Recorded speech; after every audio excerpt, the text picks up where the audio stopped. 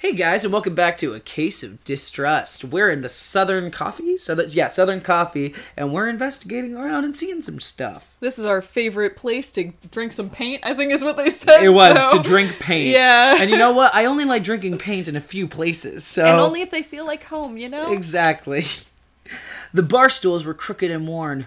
My usual one was in the center of the room. I could sit on it for hours if Frankie had a yarn to spin. Of course, the sauce helped keep me in place too. I want to call liquor sauce from now on. Give me that sauce. Hey, sauce That me. eggnog with sauce. I want you to sauce all over me. no, that. What do you even mean by that? I mean, pour me some wine, Gina. A nice classy red. I grabbed the wine bottle on the bar and examined its label. It featured a picture of grapes and the words sacramental use only. Frankie looked at me with a spark in his eye. Go ahead. I can finally use a low voice. Go ahead. He said, Give it a swig. Drink. Let's hope I'm not poisoned. Ooh, here we go. Ooh. I grabbed the half empty glass that had been next to the bottle and swirled some of its contents between my gums. A bit spicy. Oh, A bit spicy, ain't it? Frankie said. It's good, I nodded. It's good. Yeah. We can handle our liquor. We're cool. We're cool. It's good, I nodded and gulped the rest down. It'll cost you too. He said with a smile and grabbed the bottle from me, turning it through his hands. Uh, oh, rabbits charge more than Rab- rab- rabbits? Rab- Rabbis. rabbis. Rabbis. That makes way more sense than rabbits. Eh, Rabbis charge more than a nickel for this beauty. Only this type of Napa wine is made for, uh, from that Zinfandel grape. It has a unique aroma. I've been trying to learn more about wine. Seemed everybody knew their stuff but me. I noted that Frankie had said about the origin of the grape as he sat the bottle back in the, on the bar. Since when do you know grapes? Yeah, you wanna? Yeah. Since since when do you know grapes? I chided. Frankie let out a bellied laugh. Uh, some of those grapes are older than me, Malone, and I've known about them since I was a small tot. It's, uh, it's why I'm so good at my job, you know? Frankie sighed. Too bad more folks can't taste them. That woman's league is the devil. The woman's Christian temperance, yeah. Yeah. The Woman's Christian Temperance Union was now under feminist Frances Willard, a positive force for the, uh, a positive force for the suffrage of women. But her staunch support of prohibition, along with the union's massive political clout, irked the uh, the very wet San Francisco public, and she particularly wasn't popular with bartenders. Makes sense. Makes a lot of sense. Take a seat. He said. I'll make something else. He was a big fella. He'd been decent pitcher. He was a fantastic orator. What's an orator? Oh, Speaker. well, uh, your clicky thing. I'm sorry. Yeah, I'm- you just I'm have to be more careful. just-. I'm not. Careful's never been a word Uh, to, to compare with me. Uh, he was a fantastic orator, but knew when he was uh when to be a good ear too. For my money, there hasn't be, ever been, nor will there be, a more loyal barman. I sat at the bar. You got the spooks, PC? He asked. You're worn as a catcher's mitt. I suppose my exhaustion showed. I won a hundred bucks for nothing and I can't let it go. I told Frankie about the case, the threatening letter sent to Connor Green, how he assumed it was related to the bootlegging, and his suspicion of Redstone Stable. The story took longer than I'd wanted, Frankie showing genuine interest by asking many questions. When I finished, he threw the whiskey sour he'd been stirring. I took a large gulp and gave a sigh as thanks. Very noir of you. Uh, uh, well, Green's case is better than most of what you've been given. he said with some enthusiasm. At least it's not more of that adultery bunk. "Eh, sure, I replied, but I started with a goal in mind. What's the point in helping a man like Green? Frankie clicked his tongue on his teeth. Lawyer or priest, why does it matter? Let me ask you. Are the clients you have now the types you want to help? I admitted they weren't. Yeah? Yeah. He's our friend. We Yeah. should be upfront with him. I admitted they weren't. I told him that I'd wanted more from my detective life. It could be that Green's case shoots your career forward, Malone. I sighed and stared at my drink. But my daze was interrupted by the basement door opening then slamming shut. Hello? I love the aesthetic of this game. This game is delightful. I'm I- really, really it's enjoying really how it looks. cool. A small blistering woman began march- Blustering. blustering woman began marching towards me, She looked lo- younger than she was wearing a. younger than. Yeah. Because I can see the Yep. hat. She looked younger than 25, but was a few inches shorter than my 5'6. I thought her gray trench coat was too large for that small frame, which was then when I realized it was exactly like the one that had belonged to Lewis. She hurled insults at me a while. All I could do was sit and take it until she ran out of gas and started breathing heavily. I set my drink on the bar and looked her in the eyes. I inserted a hello. I studied her features. I turned away. I inserted a hello. Sure. Let's be friendly. I inserted a hello. I'm Phyllis Malone. How can I help you? Accompanied by a smile as genuine as I could muster. That knocked her off balance. She stumbled over her next few words, and I added, And you are. The flame returned to her eyes. Between clenched teeth, she hissed. I'm the wife of that bum that sneaks into your bed. Whoa. I asked The cat? That's the one I'm Yep. choosing. I asked the cat, but humor wasn't her angle. and she la- I just love how Malone talks to herself. I know. But humor wasn't her angle, and she launched into another poetic stanza. and he just left your sty this morning. She finally ended, and that was when I gathered she was Connor Green's wife. Mrs. Green, I'm a PI, not a home wrecker, and I don't think your husband and his line of business would want to bed a dick anyhow. Her look was pure incredulity. A woman in that line of work. She questioned. I don't believe it. Prove it. Evidence? Ooh, what do we got? Do we have a badge? Phoenix Wright has taught me always present your badge. Uh, paper stack, to slant, maybe paper stack? nah. Statue, Notebook. newspaper, notebook, Green's notebook? letter? Green's letter? Green's letter. Day before he came to me, Green had received a typewriter letter that read, Injure Gamer will end you. Although, wait, let's look at That- statements real yeah, quick. 'cause before that we- might be yeah, That's exactly. Green. Green got a threatening letter, has a bootlegging scheme, suspects Redstone stable, Mrs. Green. Mm, Green's le- letter may be the only thing we've got, and it does prove that Green came to us for a purpose. I mean, it proves what we need, but it might fuck up Green. Yeah. What was? What, let me see notebook real quick. My own notebook now filled to the brim. I wrote everything down, even the minor details. Never know what can be useful. That could work. And newspaper would go to everyone. That's Lenin. Statue? Statue. What was the statue of I don't know. It was a bird. Statue. I kept a small statue underneath the table. Of police evidence in a crime, and its owner hadn't one. No. No. Um, it might have to be the, The paper stack. Is that maybe files or something? I had taken copies of old murder cases from the. Oh, hey! When I left. Okay, I Paper guess we stack could show old- that to her, yeah. Maybe I just want to protect Green if he's going to Yeah, be our client. no, that's fair. Let's see if this works.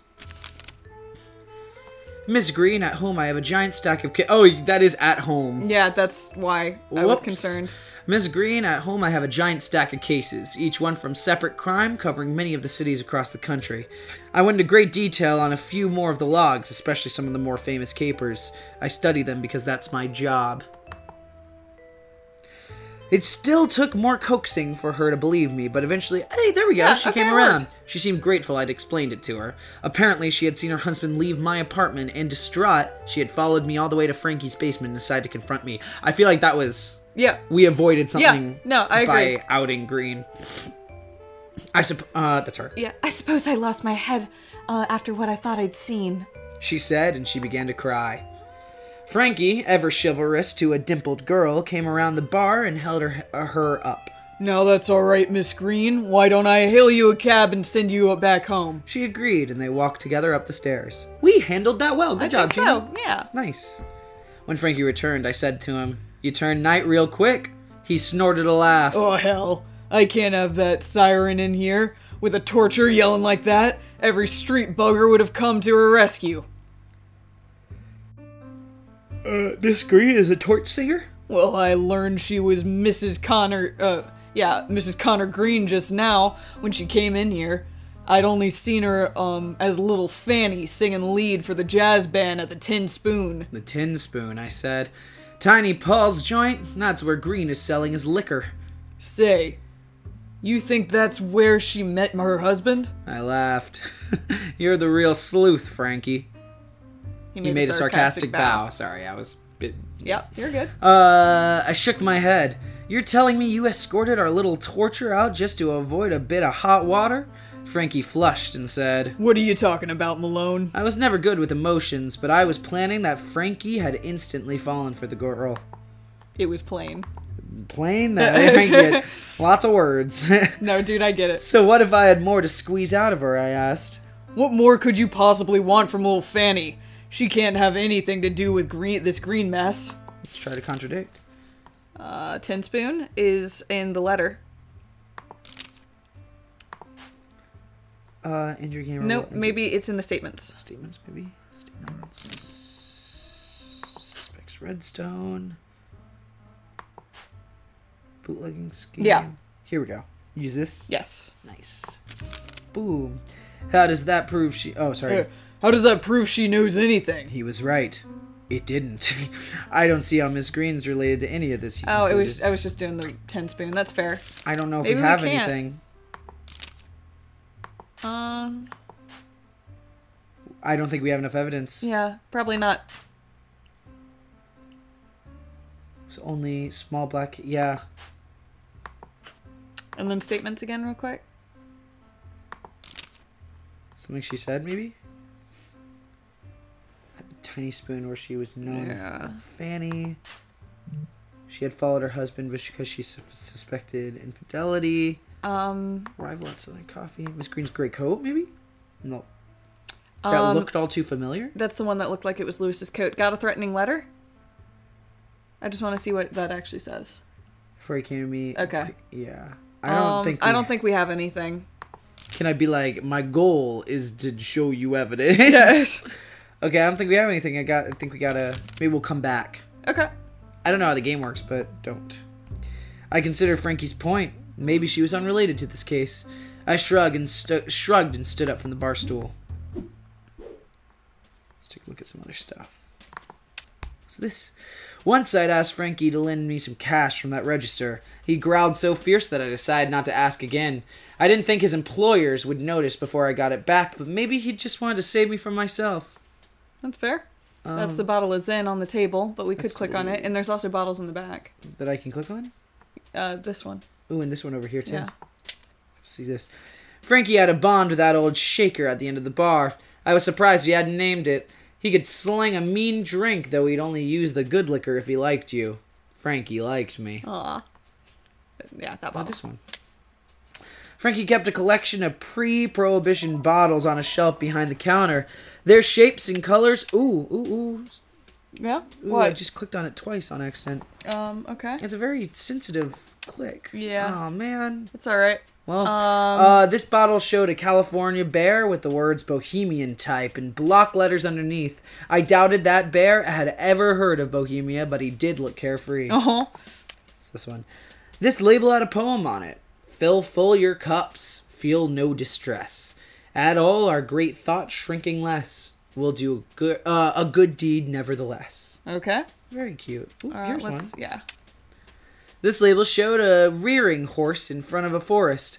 I had no idea how the horse related to California's most genuine bourbon whiskey, though I suppose I did stare at the picture long enough to whet my appetite for the bottle's contents. I didn't know that was how you spelled wet. Yeah. I never realized that was a different wet than the wet of that's wet. It's like sharpen your appetite. Like, yeah. Yeah, no, now Yeah. I know. Um. oh, we haven't actually talked on him? with him. Yeah. yeah. Frankie was still behind the bar. If I was stuck on the case, a long drink might be helpful. Let's see. I looked at Frankie.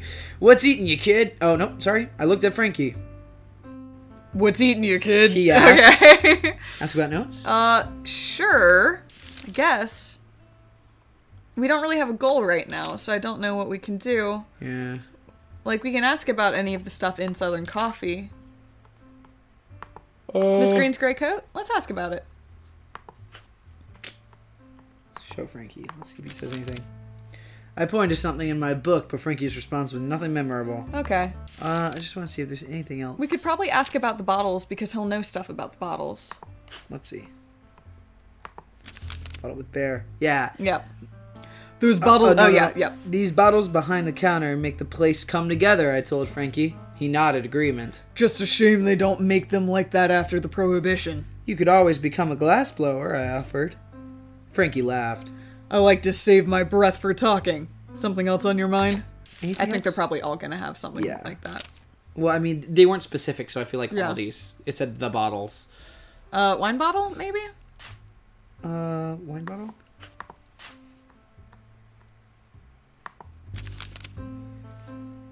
Uh, that wine we shared earlier, I stated. Ah, Zinfandel. He mused. Best grape for me, local to California. You know. And no, you aren't having any more. All right, fair. I thought about what else I'd like to speak to him about. All right, Never mind. I guess we can leave. I guess we can leave. Never mind, I said, and swiveled my seat away from the bar. Okay, Go interesting. down the stairs? Yeah. Well, do you want to leave next time? Yeah, I think we can do that. Okay, sweet. I I am very interested in what direction this game could be going in. It's fascinating, Yeah. and I just like how it's written and how it looks. Like, Yeah. it's just very pleasing. All right, cool. Then we'll see you guys next time. Bye!